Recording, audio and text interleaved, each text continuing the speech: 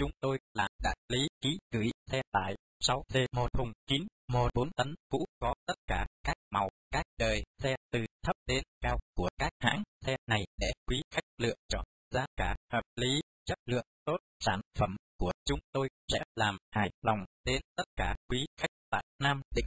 Tinh Thắng là kênh phân phối xe tải 6T1 thùng 9, 14 tấn mới, giá cả hợp lý, khách hàng được nhận xe ngay.